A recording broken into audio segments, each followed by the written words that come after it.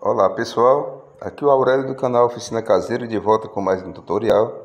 Este vídeo é uma contribuição do meu irmão Cláudio Almeida, que é técnico em manutenção de máquinas de lavar roupas.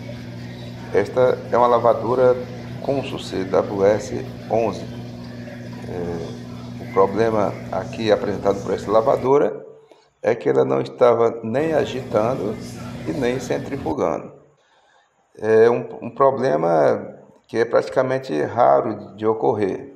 Mas lembrando a vocês que neste caso aqui, dificilmente vai ser problema na placa eletrônica, pois se trata de problemas simultâneos, tanto agitação como centrifugação. Tá bom? Ela seguia aqui o ciclo normalmente das etapas, ela abastecia de água, ela expulsava água para fora e até a etapa final do ciclo, mas não agitava e nem centrifugava, tá bom pessoal? Então, quando ocorre esse tipo de problema, geralmente é algo relacionado a defeito do capacitor de partilha do motor ou até mesmo a correia, tá certo? E que exatamente foi o caso desta lavadora aqui.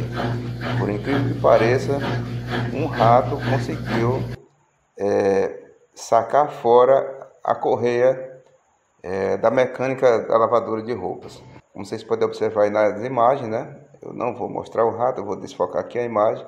Olha aí a parte da grade, né, que, de proteção da mecânica com a correia dentro e também o roedor.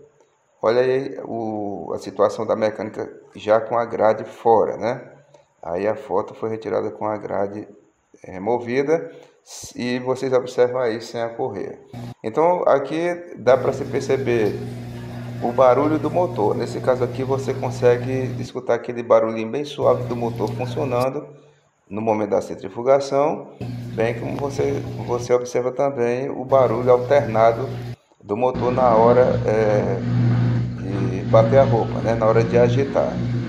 Então, nesse caso aí, pessoal, foi a correia que sacou fora. Então, é uma dica que vai servir para vocês aí, caso se deparem com algum problema dessa natureza, vocês já podem até observar aí a correia da lavadora, tá bom?